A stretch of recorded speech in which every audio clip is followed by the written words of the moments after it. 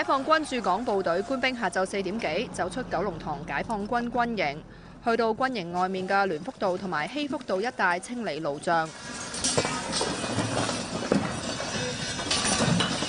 拆黑衣人砌嘅砖墙、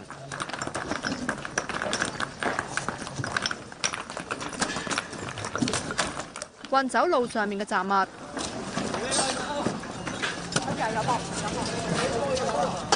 什么目的都是为了安全祥和，治暴自滥。我们的目标把道路畅通，我们的目标香港安全稳定。你们发挥正能量，香港市民的掌声就是最好的形象。这是我们市民自发的，都是自发的。希望你们放下你们手中的跟老百姓一起去干点有益的工作。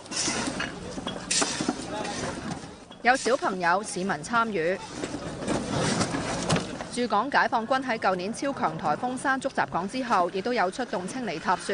驻港部队清理嘅同一时间，消防员亦都在场。大概个几钟头之后返回军营。